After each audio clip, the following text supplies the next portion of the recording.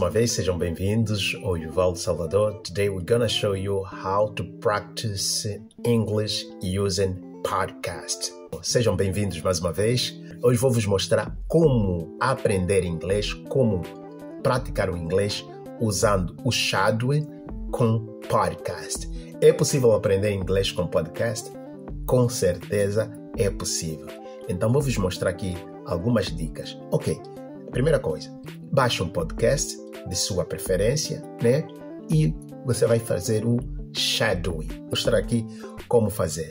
Mas não te esqueça, as always, don't forget to give thumbs up and hit the button down below and leave your comment. A sua inscrição é muito importante. Só assim você deixa o YouTube, entrega nossos vídeos para mais pessoas, ok? Então, o shadowing. Shadowing é uma técnica muito importante.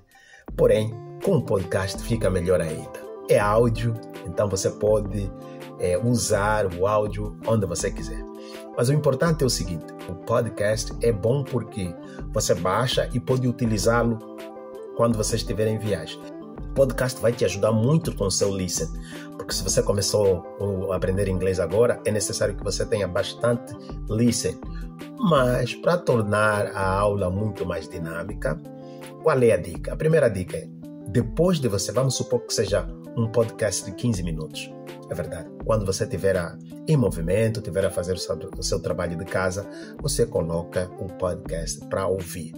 Background apenas. A dica é que você tenha que escute o máximo possível até que você internalize a fala. Depois, por outro lado, o que, é que você deve fazer? Praticar. Ok. E como é que nós vamos praticar? I'm gonna show you right now. Come on, man. Let's dive in. Dialogue 1. Congratulations, Congratulations, honey. We are very proud of you. Oh, mom, stop it. You embarrass me. It's my job. I'm mother. And now you are college graduation. I heard you believe. Three years of college. Yeah, seem to have grown up so fast. I will a lot to you. You've been there for me all day. I guess my I, I guess my effort paid me off now. I did put an effort. Do you know? Yes, I know. I see it again. Congratulations, Becky. Essa é uma das formas de você fazer o shadowing usando podcast. Podcast, isso você pode usar também com outro vídeo, mas estamos a falar aqui do podcast, especificamente um áudio. O áudio é muito importante. Diversifique um pouco a forma de você utilizar material para aprender inglês, a sua fonte. E é bom porque você não precisa ter o telefone ligado. Você pode rodar o podcast, o áudio, mesmo com o telefone assim, desligado, apagado. Pode colocar o teu telefone no bolso e você tiver a escutar o áudio. Porque o listen no inglês é muito importante. Com, quanto mais listen você tiver, mais você vai compreender o, o inglês falado. Ela, one. Congratulations, honey. We are all very proud of you. Oh, mom, stop. You embarrass me. It's my job. I'm your mother, and now you are a college graduate. It's hard to believe. Four years of college, and now I'm done.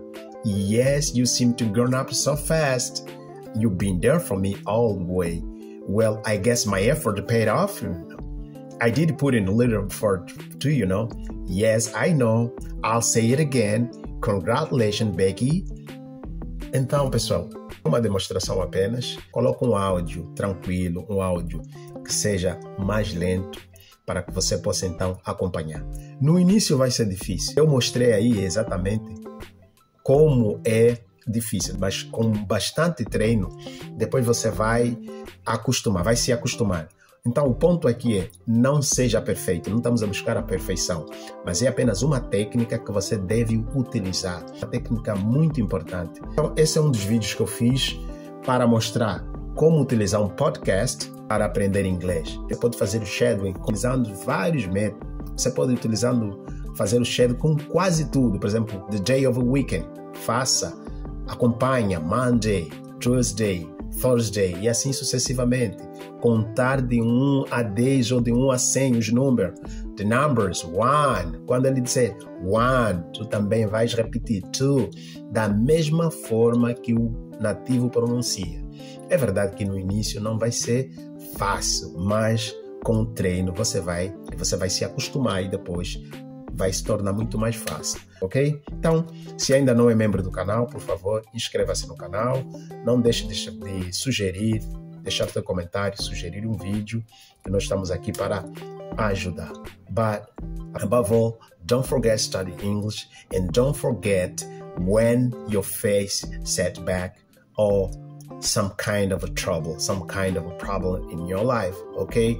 Don't forget, never give up, steadfast as always. Thank you. God bless you and appreciate you. Thank you very much.